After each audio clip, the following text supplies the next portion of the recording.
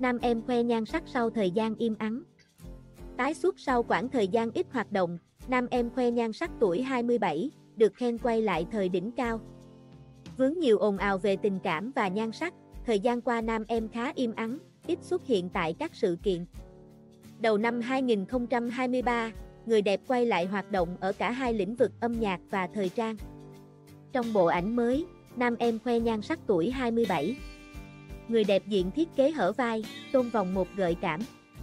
Từng có thời kỳ tăng cân mất kiểm soát, nam em giờ ổn định với cân nặng trên dưới 50kg, chiều cao 1,71m, mỹ nhân sinh năm 1996 tôn vóc dáng thon gọn cùng mẫu váy cúp ngực. Tạo điểm nhấn xếp ly ở hông. Trong thời gian hạn chế hoạt động, nam em gặp nhiều tin đồn như sức khỏe tụt dốc, nhan sắc xuống cấp sau khi lộ loạt khoảnh khắc bơ phờ trong hậu trường một buổi chụp quảng cáo. Với bộ ảnh mới, nam em được khen vẫn giữ nhan sắc thời đỉnh cao. Người đẹp khoe nụ cười tươi, cho biết tâm thế sẵn sàng đón nhận mọi điều trong cuộc sống với thái độ tích cực. Nam em cho biết, thời gian tới cô ấp ủ quay trở lại hoành tráng để đền đáp sự quan tâm của khán giả.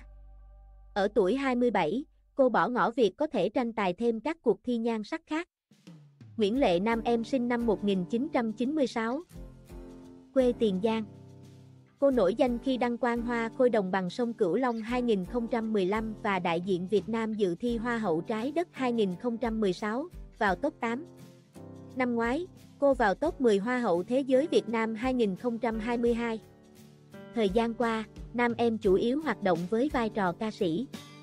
Các bạn hãy đăng ký kênh để cập nhật thông tin miễn phí mới nhất.